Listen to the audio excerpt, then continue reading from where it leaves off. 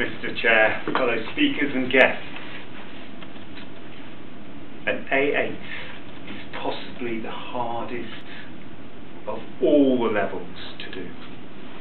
Humour is so varied.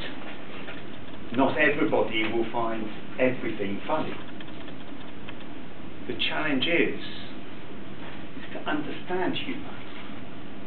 You know, a pink elephant can be dropped into any conversation just like a sheep. But I bet you're thinking about the pink elephant. You know, with its green ears. What, you mean you haven't seen one of those? Have I all got you on board with that pink elephant? That, to me, is humour. Because you're never going to see a pink elephant with green ears. But when evaluating a speech of humour, it is important that you do three things. You'll notice in life three is a great number to have. And three, when evaluating, is really important. So, when you're evaluating, it is simply feedback for the speaker. We always refer to them as the speaker because it's less personal. When you're giving feedback, you want to take it on board. So if it's a personal attack, you tend to go into a defensive mode. And we don't want that. We want learning, because that's the way we get better. And let's face it, the only way to get better is to listen to that feedback. So giving it in a constructive way is really important. And not to undermine somebody's confidence. And often when evaluating the first A2, we're very generous. And often there's lots of mistakes, often grabbing this, possibly pacing back and forwards, all those mistakes we've all made. Perhaps there's a big stutter. What we want to do is encourage them to go through. And so therefore, it is important to only pick one or two points that they would have a drastic effect on their speaking perhaps if they're always standing there with their hands in their pockets and reciting the most boring story you can imagine, and possibly just bouncing ideas off the wall. You know it's a rant and it's just turning everybody off, and you're just going, gosh, you know, actually, if you just take your hands out of your pockets and just slow down a bit and actually have a consistent story the A2 is really the one we get the most practice at and actually is the most important. A clear beginning, middle and an end. How often do we digress from that? And that is what's really important about the Speakers Club is to see that importance of the first bit. The salutation is so important. Why? For several reasons when you get up from your chair, it is not a great place to be, knowing that you're going to come up. You should be starting to um, just check the, the mouth is working. If anybody is here talking in front of a stage, the best thing to do is to go off stage and just check everything's working. Just do a little facial exercise, possibly just loosen up the body a little bit, and then you're ready to come on board. Sitting still and only getting a couple of paces standing up behind and delivering a speech is hard. So possibly if you know you're going to give a speech, start from the back of the room. It at least gives you some idea, right, I'm ready for the engagement.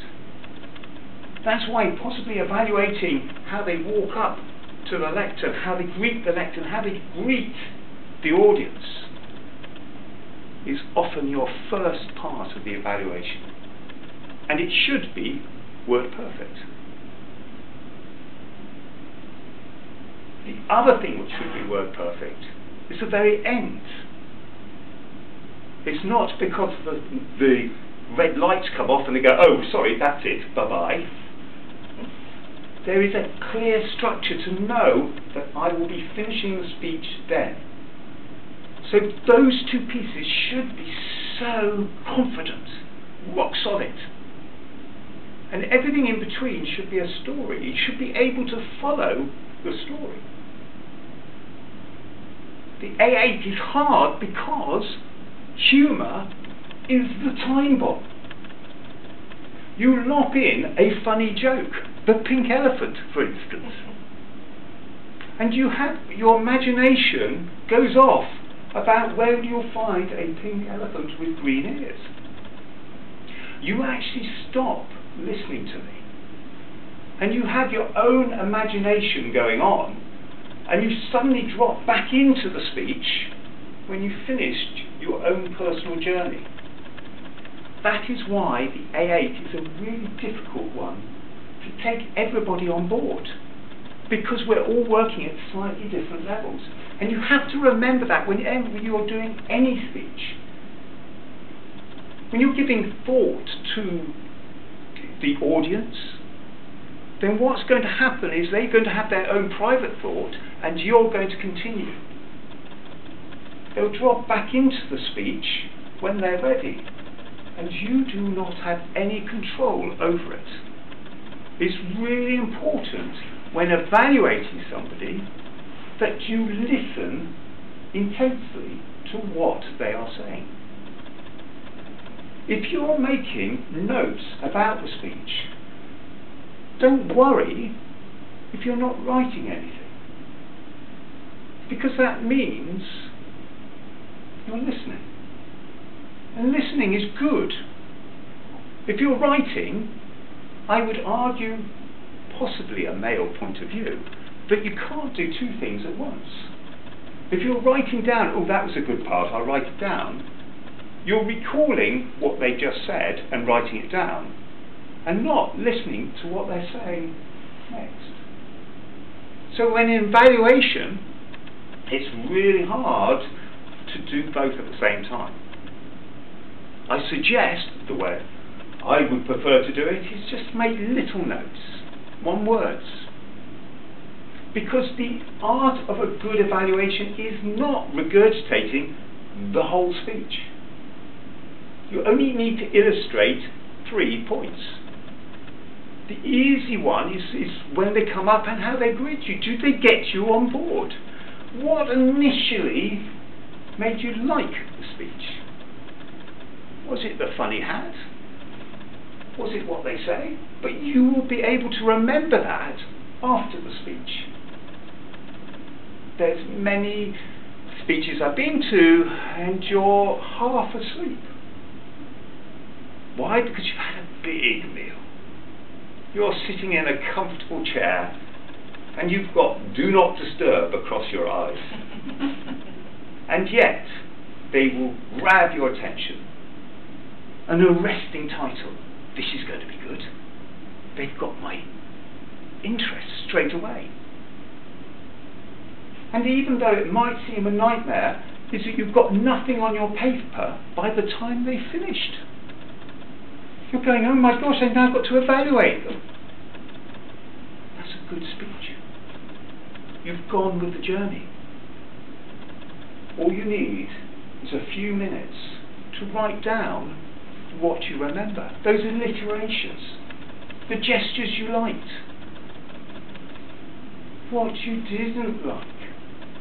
But remember one thing. Everything you didn't like, you've got to find something you did like.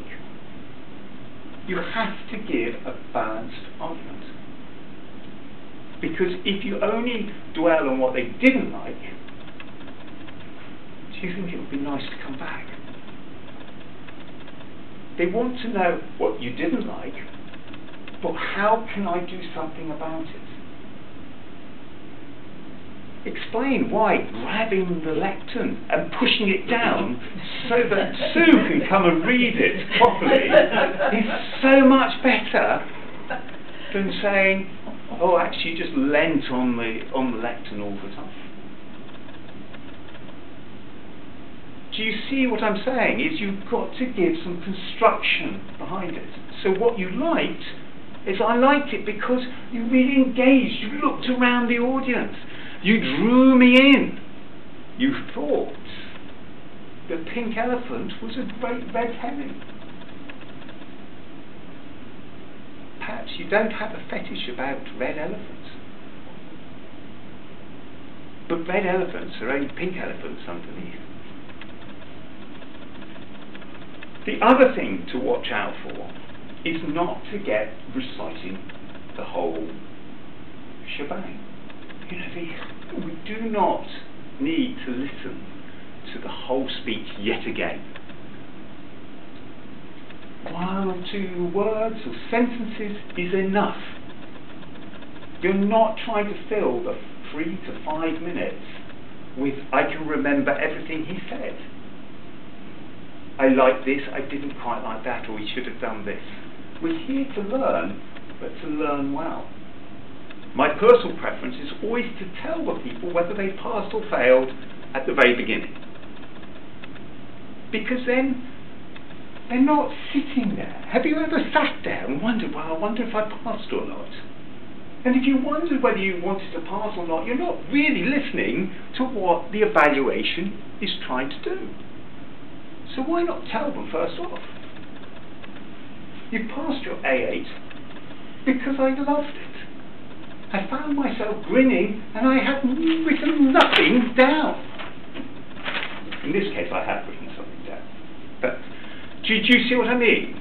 You could come up and quite easily say, you've passed your A8, but where we could see a little bit of improvement is here. But I can tell you what, I thoroughly enjoyed it. I found myself grinning all the way through. I can think about Pink Elephant when I drive home and I will remember it. But how do you get there? How could you even make it better? You could give more alliteration to the pink elephant in the environment it's in. You could do better word pictures. Perhaps you need a better story. Perhaps there wasn't an arresting title. But these are all things you can do as a process of Speakers Club. And once you get to A10, it isn't finished. As Carl quite happily tells us, we can go on to do even more. But the real art is to come up time and time and time again, to practice, to do that 10,000 hours flying. You don't get good at anything without practice. And evaluation is the key part which allows us to grow, to get better. And that's what's really important. So just remember the maximum of three points you want to take out from any speech. Three good points, got to be balanced, with three learnings. And I'd rather use the words learnings than what you didn't like. Okay? What, how can we engage more with our, our things, uh, our, our, our uh, audience? I'm just making sure of what everybody likes to see and to like to hear. But my final point is, is the thing which makes a really good speech, in my opinion, is to be able to take people on that journey. Do not get ideas ransacking your mind because that very easily becomes a rant. And the practice, I don't know about you guys, I guess we're all busy. But I find the best place to practice is driving. Normally I'm in the car by myself, but I speak out loud. And that's really important. Because when you speak out loud, you not only speak, you also listen. And therefore, when you're standing out here, you actually find that it does work. It's a lack of practice which most of us are scared of. Actually coming up here and speaking gives us the confidence to go and do it in more challenging places. And possibly the most challenging place, I would say, is if you're looking for a bit of entertainment one day. You know you have this Thursday extra Thursday. What about getting on a coach, going up to Speaker's Corner, and delivering a speech there? And AH would be a great way to start.